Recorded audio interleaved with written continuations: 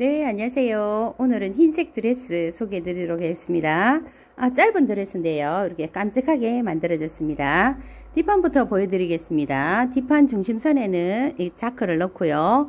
허리는 리본으로 허리를 잘록하게 멜 수 있도록 그렇게 준비했습니다. 팔은 망사로 어, 스톤을 이렇게 팔끝에다가 스폰을 붙였고요. 팔은 망사를 사용해서 살같이 비치도록 그렇게 준비를 했습니다. 목 라인에는 어, 보석으로 이렇게 장식을 했고요. 허리는 이렇게 꽃띠 준비했습니다.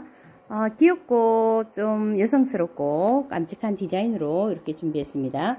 치마는 밑에 치마는 안에 패치를 많이 넣어서 풍성하게 이렇게 뜨도록 준비했습니다. 네. 몸판은 공단 스판으로 어, 늘어납니다. 늘어나서 입기 편하고 착용감이 좋아서 대여복으로 아주 적당한 것 같습니다. 네, 이상으로 설명 마쳐드리겠습니다. 감사합니다.